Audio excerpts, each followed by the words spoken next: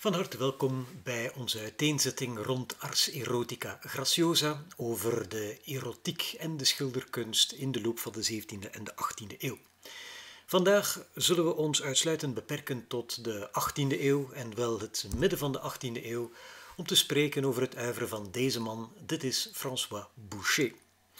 Een Franse schilder, eh, dikwijls gerekend tot galante stijl, tot rococo ook wel, die het eh, later wel schopte tot uh, hofschilder aan het hof van Louis XV. Hij werd de zogenaamde premier peintre du roi en hij was zeker en vast een van de favorieten van Madame de Pompadour. Nu, om bij ons onderwerp te blijven, dan zullen we een eerste voorbeeldje tonen van Boucher's schilderkunst en dat zijn dergelijke exploten. Dit schilderij toont ons een klassiek landschap met de klassieke Boucher-formule. Het landschap is idyllisch, pastoraal, heel aangenaam om in te vertoeven. Late lente, vroege zomer, zoiets. Met het typische loof aan de bomen, met de typische wolkenstructuurtjes aan de hemel en met meestal heel wat geurende bloemen. U begrijpt het, dit zijn altijd landschappen waar het geurt naar koek en ei. En daarin verschijnen altijd dergelijke pastorale figuren die eigenlijk niets beter te doen hebben dan een beetje de tijd te passeren met elkaar in de natuur. Meestal gaat het over een jongen en een meisje, gekleed in uh, dikwijls wat vreemde kledij, half aristocratisch, half arcadisch. Het is zo'n half theaterkostuum, je weet het zo niet goed. Of dit eigenlijk wel iets is dat uh, herders en herderinnetjes in de 18e eeuw zouden gaan dragen. Maar goed, het zijn uh, de typische kostuums, de typische attributen in zo'n schilderij van Boucher. En die algemene sfeer ademt ook iets theatraals. Het zal u misschien niet verbazen dat uh, Boucher goed bevriend was met een aantal uh, theaterauteurs, toneelschrijvers uit zijn uh, periode. De bekendste waarvan misschien Charles Simon Favard. Boucher en zijn atelier zouden zelfs decors ontwerpen voor de Comédie Française. Dus die band is niet geheel uit de lucht gegrepen. Maar goed, om nu terug te keren naar deze compositie, dan zien we mooie kleurencompositie, geel, rood, donkerblauw. Op de achtergrond wat lichtgroen, wat lichtblauw, een aantal okerpuntjes hier en daar. Vooral heel wat uh, diagonalen in de compositie. Uh, een flinke invloed is dat van de grote held van uh, Boucher, en dat is Peter Paul Rubens. Maar in elk geval, het lijkt hier te gaan om een herder en een herderin. En om nu terug te keren naar ons onderwerp, erotiek in de schilderkunst, dan zou ik er mij kunnen vanaf maken door te zeggen van kijk, zie je niet hoe geweldig plezant het is hoe die jongen met zijn fluit speelt.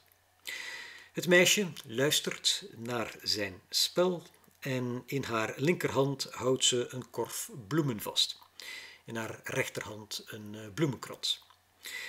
Hier schuilt zeker en vast een zekere speelse, seksueel-erotische metafoor uh, achter. Uh, de fluit die de jongen bespeelt staat natuurlijk symbool voor ja, zijn andere fluit die hij graag zou bespelen op dat ogenblik. En uh, de bloemen in het mandje bij dat meisje stellen uiteraard ook iets voor. Het is het symbool van de maagdelijkheid van dat meisje. Iemand defloreren betekent ook immers iemand ontmaagden. Iemands bloemetje plukken hè, betekent vrijen met iemand. En ook die bloemenkrans heeft uiteraard een zekere betekenis. Want uh, die bloemenkrans zal aangeboden worden, dat voelt u wel ergens aankomen. Uh, na afloop van het spel op de fluit, dan wordt die bloemenkrans aangeboden ter bekroning van zijn arbeid. En daarmee staat alles heel netjes op zijn plaats. Kortom, nadat hij zijn fluit bespeeld heeft en zij hem haar bloem heeft gegeven, is er een band tussen die twee. Een band van liefde, een band van een uh, onvergetelijk avontuur. En dat is hoe die uh, herder en dat herderinnetje uiteindelijk eeuwig met elkaar verbonden zullen blijven. De krans die ze daar in haar rechterhand heeft, zou dan ook kunnen symbool staan voor een aankomende liefdesband van trouw, van liefde en geluk, misschien een aanstaand huwelijk. En dat zou kunnen verklaren waarom haar twee vingers dan ook uh, ja, een soort van gebaar maken van twee. Wij zijn met twee, ik en jou voor eeuwig en altijd. Dus je zou kunnen zeggen, al tamelijk onschuldig. De metafoor van het plukken van de bloemen komt vrij regelmatig voor in het werk van Boucher. En niet alleen bij hem, ook bij een aantal van zijn tijdgenoten komt het plukken van die bloem vrij regelmatig voor. Hier opnieuw zien we een herdertje en een herderinnetje, allemaal koekenij. Ze liggen in elkaars armen. Zij houdt in haar rechterhand een mandje vol bloemen vast en hij plukt letterlijk een bloem met zijn rechterhand. Op de decolleté van het herderinnetje prijkt ook een bloem en ook hier weer zouden we kunnen zeggen gaat het hier niet over lust, over verleiding, over liefde, over de intrigue die ermee gepaard gaat. Merk op hoe deze bloem over het algemeen een uh, rode roos is, een beetje rozenachtig uitziet. En die rode roos was in de 18e eeuw het symbool van volmaakte, galante liefde. Zoals te zien op de schilderijen met de herdertjes en herderinnetjes van Boucher. Wie zeer sterk was in het optoveren van een dergelijk universum was Madame de Pompadour zelf. Zij ontwikkelde de roossymboliek voor haar eigen doeleinden. Uh, Madame de Pompadour, zo moet u weten, was dol op rozen. Zij was uh, ook premier maîtresse en titre uh, van Louis XV. Dat is een feitelijke positie die zij bekleedde aan het hof. Premier maîtresse en titre betekent zij was de officiële maîtresse, minnares van de koning op dat ogenblik. En haar taak bestond erin om de al bij al eerder ja, depressieve, misschien wat zwartgallige, melancholische koning wat op te monteren om voor hem een soort van paradijsje op te toveren. Uh, door dat te doen, door zich bezig te houden met theater en muziek en, en schilderkunst en, en, vormgeving in het algemeen, dan werd zij, of nam zij althans liever de positie op van een soort van officieuze minister van cultuur in Frankrijk. Goed, uh, Pompadour zou nu precies uitgerekend de grote beschermdame worden van François Boucher. Boucher zal haar meermaals gaan portretteren, altijd met een veelvuldig gebruik van die roossymboliek, zoals je ook kunt zien op haar, uh, op haar kleed uh, dat ze hier draagt. De roos was voor haar het symbool van de volmaakte, galante liefde tussen haar en de koning. De roos kwam overal voor, op haar portretten, op de ontwerpen van haar jurken, zoals ook te zien hier, ook op de decoraties van haar behang, op haar meubelen. Ze liet zelfs uh, potpourris maken. Uh, in uh, zuiver porselein gelegd geurde haar appartementen dan in het kasteel van Versailles naar rozengeur, heel letterlijk. En dan begrijpt u wel dat de roos bij Boucher geen toevallig symbool is, maar heel erg geassocieerd kan worden met nu precies Jean-Antoinette de Pompadour en de, de, hele hofcultuur die zij probeerde op te bouwen rond Louis XV. In een uh, volgend werkje staan uh, plots drie figuren centraal in de compositie en u begrijpt, hier wordt het iets spannender. Opnieuw gaat het over een Arcadisch landschap en die jongen speelt op zijn musette, dus dat is dat instrument dat hij daar vast heeft.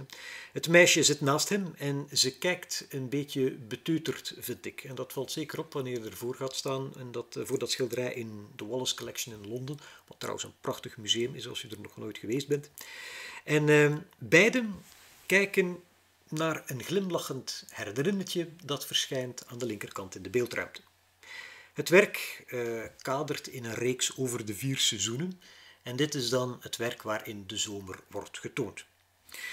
Dit werk zou je kunnen zeggen dat is iets uh, moeilijker om te interpreteren. De jongen speelt opnieuw op zijn instrument, dat dus letterlijk bestaat uit een fluit en een zak. Ik bedoel, uh, de manier waarop hij het ook vasthoudt laat weinig tot de verbeelding toe, vind ik.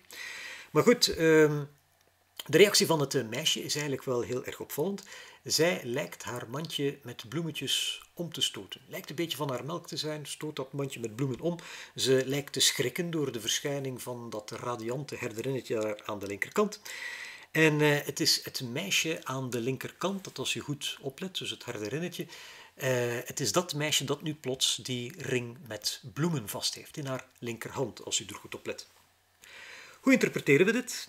Wel, het meisje onderaan probeerde, of was althans, het eh, onderwerp van het verlangen en van de verleidingspogingen van de jongeman aan de rechterkant. Maar die jongen is eigenlijk plots geïnteresseerd in de wat meer intrigerende, plotse verschijning van het knappe herderinnetje aan de linkerkant. En het feit dat die interesse wederzijds is, uh, lijkt ook wel bewezen door het feit dat het herderinnetje naar hem kijkt en niet naar haar. Je zou kunnen zeggen, dat is een vrij onschuldige problematiek. Maar uh, je zou een beetje verder kunnen gaan door te stellen van kijk, het meisje dat aan de linkerkant te zien is, heeft, zijn, heeft haar bloem eigenlijk misschien al weggegeven aan de jongen. En die blijkt nu wat meer interesse te hebben in een ander meisje. Hier wordt het iets tragischer en dan begrijp je dat de jongen ergens zijn keuze zal moeten maken. Indien we uh, wat verder kijken, dan zullen we binnen diezelfde reeks blijven van Boucher, die kadert binnen de vier seizoenen. En in de Wallace Collection bevindt zich uit datzelfde jaar, 1749, ook de herfst, het daaropvolgende seizoen. En dat ziet er dan zo uit. En uh, hier krijgen we plots een ander symbool in het vizier en dat is de druif. Ehm, we zien opnieuw een herder en een herderinnetje. Dat is ook te zien aan de schapen en het hondje. Uh, die op dit moment een beetje rust en verkoeling en ontspanning zoeken aan een fontein. Ze liggen opnieuw in elkaars armen, zo'n beetje kruisend diagonaal, à la Rubens zou je kunnen zeggen. En ze lijken uh, zichzelf te verfrissen door een paar druiven te eten. Maar uh, de titel, ja, de titel vraagt zich af. Uh, les raisins pense-t-il au raisin? Zijn ze eigenlijk wel aan het nadenken over druiven? Daarvoor schijnen ze toch iets te smachtend in elkaars ogen te willen kijken en dan weet je meteen dat hier iets meer aan de hand is. De druif is een ander vaak voorkomend symbool binnen het werk van Boucher en zijn opvolgers, omdat in die druif, uh, misschien vandaag wat minder omdat we te maken hebben met de zogenaamde seedless grapes, maar uh, in druiven zitten toch normaal gesproken zaadjes. En het zijn die zaadjes die natuurlijk symbool staan voor ja, het zaad. Het is althans ook zo dat de jonge man die u daar ziet met zijn rode jas, zijn vruchten ook aanbiedt aan dat meisje. Uh, dat met die vruchten, als je goed oplet, trouwens ook in haar schoot zit. Dus hier is toch wel iets aan de hand. Het is de jongen die zijn druiven en dus zijn zaad voert aan dat meisje. Die druiven liggen ook op haar schoot en dat is waar het zaad uiteindelijk zal terechtkomen. Dit gaat natuurlijk over helemaal iets anders. Dit koppeltje denkt uiteraard niet aan druiven eten, maar aan kindjes maken. En dat wordt door uh, Boucher ook heel erg duidelijk gemaakt in de titel. Wanneer je dan ook nog eens uh, kijkt op het achterplan, dan zie je dat er een klein barrelief te zien is boven uh, de fontein, althans de plaats waar het water uitkomt. Daar zitten twee putti, daar zitten dus twee kindjes, met andere woorden.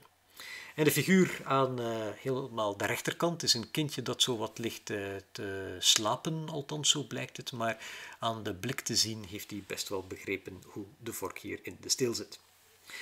Dat dit een ehm, product is van de verbeelding van Boucher en vooral duidelijkheid niet van de mijne, moet ook wel ergens duidelijk gemaakt worden door een aantal andere voorbeelden binnen datzelfde register. Opnieuw hebben we hier dat typische idyllische pastorale landschap met twee protagonisten, een jongen en een meisje. En de titel geeft aan dat men hier producten aan het ruilen is. Is te zeggen, de jonge man schenkt trots een tros druiven en het meisje schenkt hem een ei. En u begrijpt dat uh, deze transactie niet louter mercantiel is. De uitwisseling gaat wel degelijk over iets anders. De jongen heeft een uh, ton vol druiven die hij heeft geplukt. Dat, uh, daar is hij kennelijk heel erg trots op, de manier waarop hij die ton daar vast heeft. En uh, de druif heeft hier natuurlijk haar gewoonlijke symboliek van zaad. Terwijl de jongen zijn zaad aanbiedt, zijn houding is op dat vlak ook wel wat suggestief. Moet je eens kijken waar zijn onderarm zit, zo, waar dat zaad zo precies lijkt uit te komen. Trekt hier misschien een beetje op flessen, om het zo te zeggen. Maar bon, de houding is toch uh, bijzonder suggestief. En kijk ook um, naar dat ei. Uh, achter het uh, meisje zie je dat er een mandje te zien is, dat vol ligt met eieren, die ze netjes bewaakt heeft, die ze netjes veilig gehouden heeft. En ze lijkt nu een van haar eieren te schenken ehm, aan die jonge man. Dus vast en zeker een bewuste daad. En dat het hier eh, gaat om liefde valt af te lezen aan de duifjes helemaal bovenaan. Als u kijkt naar eh, het huisje dat op het achterplan te zien is, dan is daar een strooiend dakje waar diverse duifjes, uh, koppeltjes, tortelduifjes om het zo te zeggen, hun nestje aan het bouwen zijn. Dus dat gebeurt dan uitgerekend in de schoorsteen waar dat jongetje en dat meisje zullen gaan wonen. Zo beelden we ons dan in. Dat het gaat om opnieuw iets uh, seksueels, dat is ook te zien onderaan. Uh, een heel aardig detail bij Boucher zijn de voorwerpen die je onder het meisje kan aantreffen. Daar zie je onder meer een uh, koperen melkkan die omvergevallen is.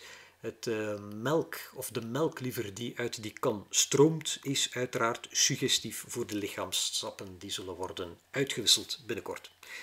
En dan moet je ook nog zeggen dat tussen hun twee er dan ook weer een kindje zit, ehm, dat althans ook weer eh, speelt met de druiven boven de schoot van het meisje, dat misschien alludeert op de vrucht van deze uitwisseling van producten, zoals Boucher het in zijn titel verwoordt. Om te bewijzen dat uh, de interpretatie van het voorgaande nog zo gek niet is, heeft dit schilderij ook een pendant en dat is te vinden hier. Dit is de Kersenplukkers, ook weer zo'n heerlijk werk van Boucher. Uh, het werk is bedoeld om als uh, compagnonstuk met het vorige werk te fungeren, waardoor uh, ja, een zekere samenhang bedoeld wordt uh, hier door Boucher tussen die werken. En opnieuw zien we jongen en een meisje in een idyllisch landschap en u kent inmiddels de formule. Maar uh, dit lijkt op het eerste zicht misschien een beetje een eenvoudige tuinbouwkundige arbeid, waarbij de jongen op een ladder staat en kersen plukt, terwijl het meisje onderaan de ladder staat en de kersen eenvoudigweg opvangt. De instrumenten van hun uh, vroegere arbeid liggen verspreid in het rond, een gieter, een kruiwagen, kleine potplantjes enzovoort. Maar uh, er is toch wat meer aan de hand hier opnieuw. Let bijvoorbeeld op de manier waarop de jongen die kers vast heeft. Uh, Zo'n kers, u weet dat, uh, als je er zo twee hebt, dan kunnen die ook zo heel netjes aan elkaar vastzitten. En als je daar dan op het laatste kootje van je wijsvinger dat, uh, die twee kersen laat balanceren, ja, dan heeft dat toch wel iets suggestiefs, zo begrijpt u best wel. Dus goed, hij laat die twee kersen dus op die manier met elkaar bengelen op zijn wijsvinger. En de jongen laat die vruchten naar beneden vallen, die dan letterlijk in de schoot van het meisje belanden, die zich op deze manier letterlijk eigenlijk laat bevruchten. Dit maakt dat dit werk zeer goed past bij het vorige werk. In beide gevallen gaat het over uh, mannelijke en vrouwelijke vruchtbaarheid, uitgebeeld door de metaforen van druiven en kersen. Het is met andere woorden altijd wel een verhaal over prille liefde, over verliefdheid, waar natuurlijk flink veel seks bij komt kijken. In dan weer een volgend werk zien we een koppel in dat idyllische Arcadische landschap met aan de rechterkant een jongen en een meisje die in elkaars armen liggen. Uh, hun elegante kleren zijn wat in de war en die jongen heeft zelfs zijn kousen uitgetrokken, zoals je kunt zien. En het uh, lijkt erop alsof hij met zijn rechterhand een bloem uit haar haar wegneemt. Met zijn linkerhand legt hij dan weer de bloem op een strooien hoed en het lijkt erop alsof hij de bloemenverzamelaar uit de titel is. Titel is De Bloemenverzamelaar. Goed, wanneer we dan uh, kijken naar dat uh, meisje die in zijn armen ligt, dan zien we dat dat meisje op een beetje naïeve uh, wijze naar de grond kijkt, wegkijkt. Ze ligt tegen hem aangehurkt. ze heeft een heel mooie blauwe krans om de pols. Misschien suggereert dat opnieuw uh, de liefdesband die bestaat tussen dat, die jongen en dat uh, meisje. Uh, misschien alludeert het op een aankomend huwelijk. Maar zoals u wel zult begrijpen, is de jongen in dit schilderij toch enigszins afgeleid. Door het meisje onopgemerkt komt er links een ander meisje de ruimte binnengewandeld. Haar blik kruist meteen de blik van de jongen en kijk eens hoe mooi ze glimlacht naar hem en hoe mooi ze kijkt naar hem. Ze heeft ook nog redelijk wat bloemetjes bij. Dus ze heeft eh, twee mandjes, ook een paar jurken in haar haar enzovoort. zijn er ontzettend veel bloemen te zien. Dus eh, dat ziet er allemaal zeer fleurig uit, om het zo te zeggen. En eh, daar heeft onze bloemenverzamelaar wel interesse in. Hij heeft immers al een heel mooie collectie samengespaard als je dat mandje moet beoordelen aan de rechterkant. Boven het meisje is een uh, ja, tweede bloemenring te zien, als het ware. En uh, ook aan, uh, ja, de, die, die, die glijdt uh, langzaam weg, uh, zoals u wel kunt zien. En de hond aan de voeten van, het, het van de jongen en het meisje kijkt ook een beetje opgeschrikt op. Hij is wat alert.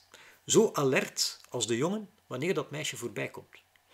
En je zou kunnen zeggen, hij heeft ja, zijn zaad al verschoten. Hè. Ook wel te zien aan uh, de twee putti daar helemaal bovenaan. Als u naar de sculptuurtjes kijkt boven die jongen, dan zie je daar twee putti.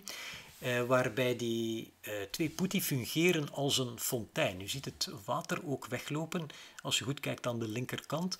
En dat is omdat die twee putti een urne hebben omvergestoten, waar dus opnieuw dat water uh, lijkt uit weg te lopen. Dus dat is waarom ik zeg, ja, hij heeft misschien zijn water al laten weglopen, die jonge bloemenverzamelaar. In ieder geval, dat hondje en hoe alert het is, illustreert hoe ook de bloemenverzamelaar in dit schilderij alert is. En wat duidelijk is, is dat hij alleszins geen trouwe minnaar is, maar een soort van zorgeloze verleider. Opnieuw is er sprake van een arcadisch landschap in ons laatste voorbeeldje binnen het werk van Boucher. Ditmaal speelt het gegeven zich af aan de oever van een beek, waar een gezelschap aan het vissen is. Eigenlijk is, het, uh, is er maar één iemand aan het vissen en dat is die jongen die u daar ziet aan de linkerkant. Die putti, die tellen niet echt mee, die doen alsof ze vissen in een soort van ton of tobbe die voor hen eh, lijkt te staan. Nu goed, het hengelen, het vissen, is natuurlijk wel ergens uh, het hengelen naar aandacht van het rechtopstaande meisje. De hengelende jongen zit naast een meisje waar hij blijkbaar een goede band mee heeft, eh, waar hij blijkbaar een relatie mee heeft. Ze zitten daar samen aan de oever van die rivier. Maar plots komt er weer een derde meisje dat daar rechtop staat met haar mandje passeren, vol bloemen enzovoort. En dat kan natuurlijk niet anders dan de aandacht trekken van de jonge hengelende man. Hij vist dus gedeeltelijk naar de aandacht van het rechtopstaande meisje.